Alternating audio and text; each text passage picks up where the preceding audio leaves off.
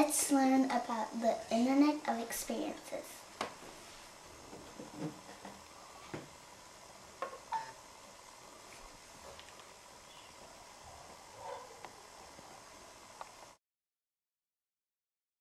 A photo elicits an emotion.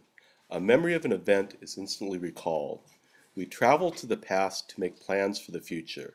We see, we hope, we believe that we will be able to find that moment again. I miss the sounds of waves at night.